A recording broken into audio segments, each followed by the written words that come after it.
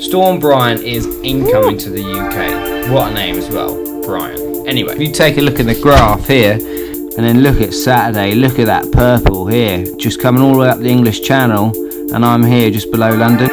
Really, really excited about it. We don't often get storms this big here in the UK. We're looking at 40 to 50 knots.